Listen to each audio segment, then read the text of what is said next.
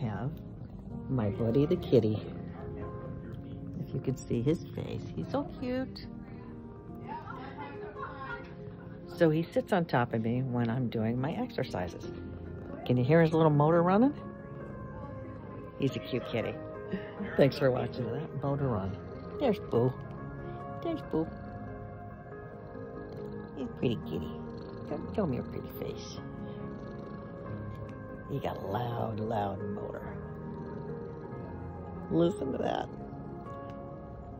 This is the way to do physical therapy with a kitty on top of you.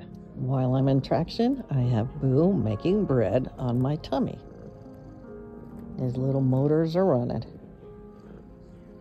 Here's Boo. I have my neck in traction, which y'all can see. Oops. Let's see if we do it this way. Hopefully y'all can see it.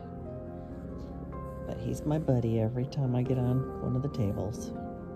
Oh, I did want to add, I found out Boo is a she, not a he. But the reason I go to physical therapy is because I have three herniated discs in my neck and one between my shoulder blades. So physical therapy is definitely helping.